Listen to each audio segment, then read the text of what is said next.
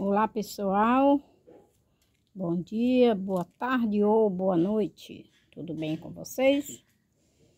No vídeo de hoje eu quero estar tá mostrando o resultado daquela orquídea que eu plantei agora recente, que eu mostrei aqui no vídeo como ela estava e que eu cortei ela ela teve, tinha partes que eu tive que tirar toda. Ela tava com outras brotação nova. Aí, esse broto aqui já tá enraizando. Esse daqui também já enraizou, já pegou na madeira, olha. Esse daqui secou o brotinho novo. Então, esse brotinho novo secou. Eu estava olhando aqui esse pezinho dela aqui, ó, tá seco. Esse broto aqui, ó, eu vou ter que tirar esse aqui, ó. Eu vou ter que cortar ele, tirar novamente aqui. Esse pé aqui, ele tá seco. Olha. Não quer sair, mas ó, por aqui pela canela dá pra ver. Então, esse aqui foi um que eu cortei uma banda da, da, da dele. Eu tirei uma banda dele aqui pra poder tirar a podridão. Então, ele ficou só uma bandinha com esse broto novo. Aí, esse broto novo secou. Aí, eu vou ter que cortar por aqui, olha. Cortar aqui, tirar ele e selar o lugar. Esse broto tá enraizando, tem outra raizinha de outro broto ali. Essa partezinha aqui secou, ó. Secou não, apodreceu. Eu vou cortar bem pelo pé aqui, tirar essa parte aqui. Aí vai ficar os que sobra aqui, ó. Tem esse broto aqui, esse broto novo, que era o maior. Tá vendo as raízes dele onde tá? As raízes dele pegadinha aí, olha. Então, esse broto aí enraizou, esse de cá tá enraizando, esse daqui também, o dali vai ser tirado. E é assim, gente. Então, como a torceira era uma torceira grande, aí eu vou, vou conseguir resgatar ela praticamente toda, né? Só vou tirar essa parte aqui, esse, esse broto aqui, que era um broto novo, com, com esse brotinho aqui. E esses três brotinhos aqui, que eles eram pequenos, né? Era da parte velha. Então, eles já apodreceu. Eu vou tirar essa parte, cortar logo e tirar. Tirar esse outro broto que tá aqui, ó. Esse outro broto aqui também, eu vou tirar ele que ele tá apodrecendo aí. Isso é porque, gente, tá na bolacha. Olha, o esfagno tá sequinho já, sequinho. Eu reguei elas ontem de manhã. Porque agora, nesse verãozão, eu tô regando minhas orquídeas um dia sim, um dia não. Então, reguei ontem, hoje eu não rego, não reguei. Então, é assim que eu faço mesmo as orquídeas dos troncos e das bolachas porque se for regar todo dia, vai acabar matando outras orquídeas. Essa daqui foi outra que eu tirei do vaso. Ela estava é, com uma parte ali no meio podre. Eu tirei, marrei aquela partezinha que tá dividida, ó. Aqui é uma parte, ela tá saindo essa gema aqui, olha. Saindo essa gema e tá com esse broto novo. Então, ela já tá saindo a raiz, ó. A raizinha tá ali, mas eu plantei ela ontem, viu? Mas ela já vinha com a raiz para fora. Então, é o tempo certo da gente fazer o replante. Quando a orquídea está com o broto novo, já saindo raiz. Por quê? Porque quando a gente coloca, ela já vai logo agarrando na madeira, ou que seja no vaso, ou no tronco, onde for. Esse daqui ainda não vem saindo. Mas eu tive precisão de tirar, porque tinha uns brotos mortos aqui no meio. Então, eu cortei, botei, marrei esses dois aqui e marrei esses aqui. Então, espero também que eu salve ela. Ela é uma catileia muito bonita, de flor muito grande. Uma catileia bem linda, a flor dela é enorme. Aí, essa daqui eu fiz o replante ontem, foi aquela que eu mostrei para vocês agora no vídeo recente, tá vendo? Eu vou cortar aqui a haste dela, deixei só para mostrar para vocês ver qual era. Aquela que eu fiz agora recente. Então, eu fui ver no tronquinho, tirei, fui ver no tronquinho, aí ela tava o tronquinho tava com muita raiz podre. Então, quando eu botei dentro da água que eu observei, tinha caramujo escondido. Ele não tava saindo agora por causa do verão, mas tinha vestígio de caramujo, tinha filhotinho. Eu tirei, aí tá, a, a madeira tinha uma, uma casca grossa, eu não sei que madeira era, não me lembro mais. Aí eu tirei aquela casca, tirei o tronco, depois fui e cortei a metade da casca e replantei ela aqui só no substrato. E aqui ela tá com esse broto novo, tá com esse aqui que floresceu, ela logo logo ela vai brotar também. Olha, essa daqui é a Júlia Conceição, também estava no, no vaso, saindo o broto assim para cima, eu tirei ela, coloquei aí certinho para ela ficar bem certinha, olha, a Júlia Conceição. Então, gente, é, como que as orquídeas podem enraizar rápido? Qual é o é, enraizador que eu uso? Vocês podem perguntar qual é o enraizador que eu uso para a orquídea se enraizar. Eu não anotei aqui ó, o dia que eu replantei essa daqui, mas tem poucos dias que eu fiz esse replante junto com vocês. Tem poucos dias. Então, pessoal, eu não uso enraizador mais. Eu já usei muito, mas hoje em dia eu não estou enraizando. Eu não estou usando.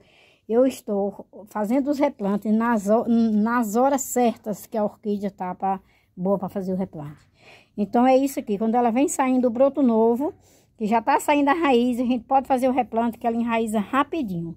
E quando não tá, pode passar tempos que ela não enraiza. Eu vou mostrar aqui dois exemplos de duas orquídeas aqui que, que aconteceu com uma que estava na época favorável e a outra que não estava. Então, eu não vou nem é, pausar aqui, vou mostrar aqui para vocês. Aqui, essa outra aqui que eu fiz o replante, tem poucos dias aí que eu fiz o replante, até eu mostrei ela. Olha as raízes dela como já tá, gente, olha. Olha pra isso aqui, ó. Olha, que coisa linda. Por quê? Porque o broto novo dela tava já soltando a raiz. Então, é para isso. não usei enraizador nenhum, gente. Nenhum, nenhum, nenhum. Olha as raízes dela como tá. Já toda pegando na madeira. E tem esse broto novo que ele vai crescer e vai enraizar. Porque, gente, tem orquídea que os, logo com o broto pequeno começa a sair raiz. Tem outras catileias que só solta raiz depois que o broto já tá grande. Então, é o caso dessa daqui, ó. Olha o tamanho desse broto aqui. Olha o tamanho dele. Olha. E agora que ele tá soltando a raiz. Então, gente, o segredo para as raízes, para as orquídeas enraizar bem é fazer o replante na hora certa que tá para fazer. No caso que as orquídeas estão tá em época de enraizar, de, de colocar suas raízes, em época de brotação. Olha aí, ó, elas vêm, ela vem bifurcando até as raízes ali, ó, dos outros brotos, elas vêm bifurcando. Então, essa foi uma da flor muito linda que eu mostrei tem poucos dias para vocês. Agora, eu vou mostrar mais uma ali que eu plantei na época que não estava bom para fazer o replante. Minhas baguncinhas aqui, gente, vocês não olham não que eu tô fazendo o replante. Olha, essa daqui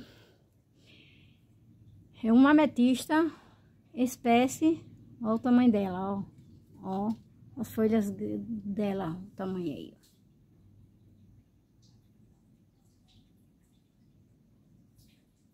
Olha, olha, olha, olha. Tá vendo? Foi uma que eu fiz, eu acho que eu mostrei o replante dela. Olha só, ela foi replantada no dia 24 do 9. 24 de ah, é, setembro. Dia 24 de setembro eu fiz o replante dela. Então, 24 de outubro, fez um mês.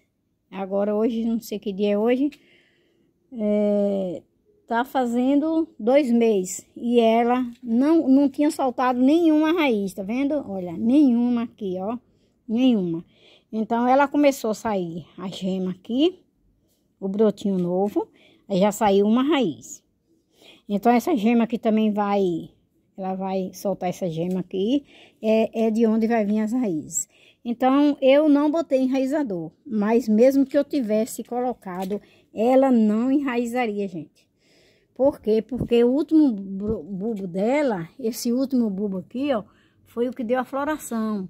Então, as ametistas, elas dão floração, depois demora para sair a brotação. Então, como eu ganhei essa orquídea, tinha que fazer o replante, né? Então, é isso, a gente vê a diferença de quando a gente faz o replante da orquídea na, na época certa e quando a gente faz na época que não está, a orquídea não está com enraizamento.